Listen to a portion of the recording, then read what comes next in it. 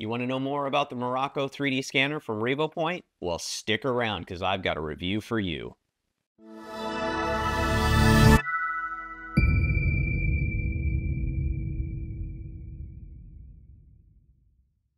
Hey everyone, welcome back to the channel. Today I have something very exciting for you. We are going to review the Miraco 3D scanner from RevoPoint. Um, I'm going to do this down dirty, nice and quick. We are going to just cover uh, some highlights. This is going to be my short review. I'll do a longer one in the future, but we're going to go, and this is your little intro. Next, we're going to talk about features and specifications. I'm going to do a little demo for you. And then finally, I'll do uh, pros, cons, and I will give you my overall rating. So without any further ado, let's get into it. The front of the unit features a quad camera infrared structured light array, two cameras for near mode, two cameras for far mode. 8 infrared fill lights, a 48 megapixel color camera with two white flash LEDs, the structured light projector, and a speaker.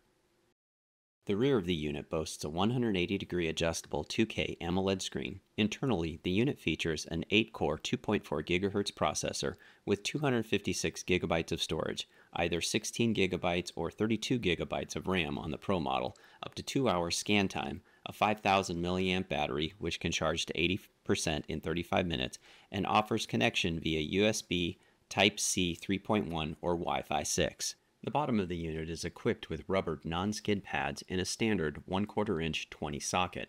Additional features include both single shot and continuous modes, a 9-axis IMU, up to 15 frames per second scanning speed, and no cables or PC are needed for scanning or processing. The software interface is well laid out and easy to navigate.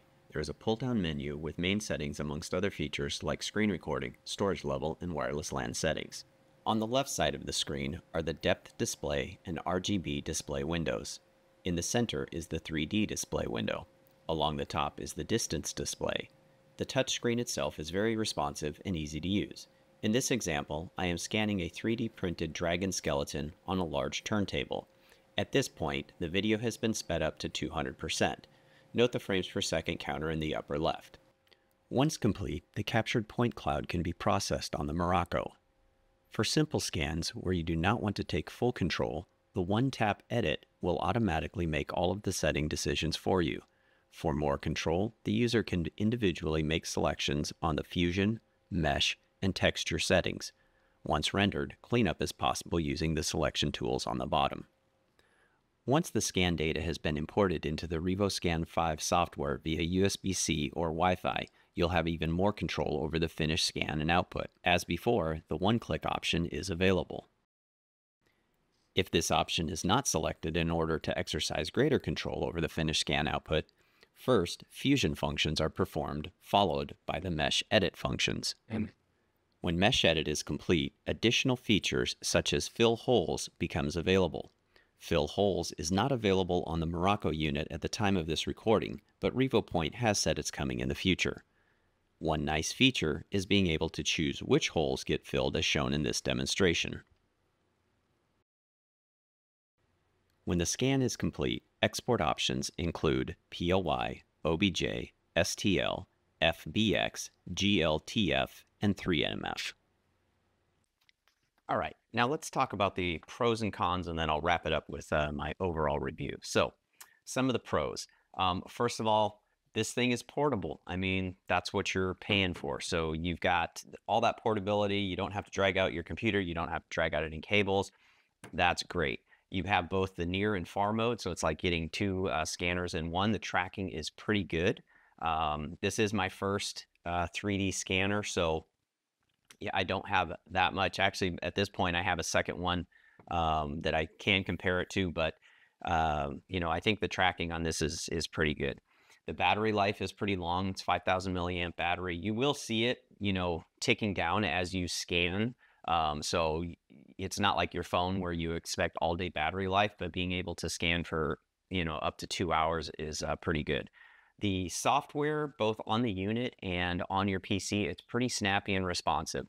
Um, the other software that I've used, sometimes, you know, you hit it to do something, it'll go to like 6% and it just stays there for like a minute or two and then it finally starts moving. You never have that with the, uh, the RevoScan uh, software. Speaking of the software, Um, as long as I've had this, they seem to be doing very frequent updates. And in fact, RevoScan 5, the last update was just seven days ago as of the time of this recording. Um, and they have new firmware for the unit that they just started testing uh, at the beginning of July.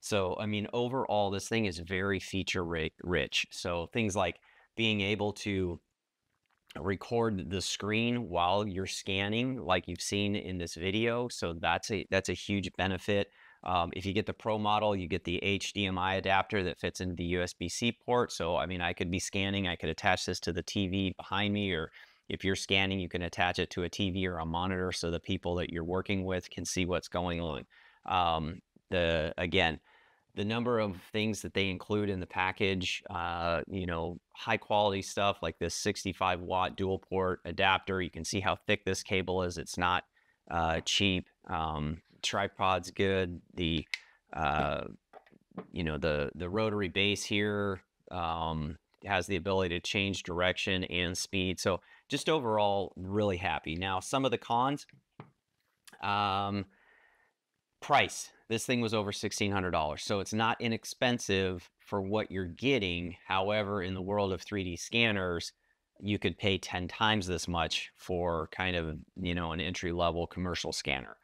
Um, on the, the RevoScan software, there was a, a, glitch that I noticed when I was recording this. Uh, you, you know, if you're a Windows user, you're used to being able to make things full screen and then making a little window and moving that over. I have a three screen setup. If I made, if, if I went out of full screen, and drug it to another monitor, it would hang in between things. It, I couldn't just maximize it on another monitor. There's something weird. I checked the forums. It's been like that for over a year. So Revo or yeah, Revo Point, please fix that. I know it may not affect everybody, but you know those little touches uh, go a long way.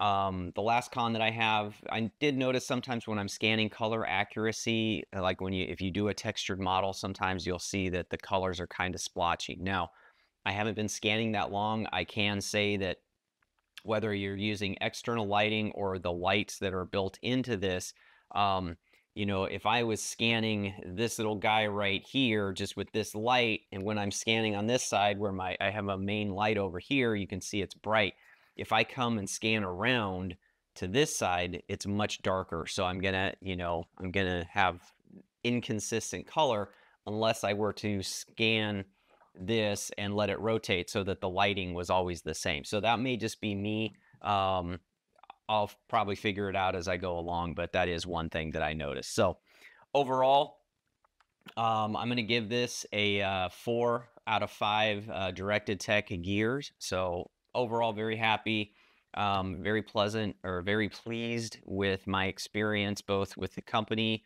um, as just a regular customer. This was not provided to me. I paid for this with my own money, and I'm pleasantly surprised. I'm happy with it.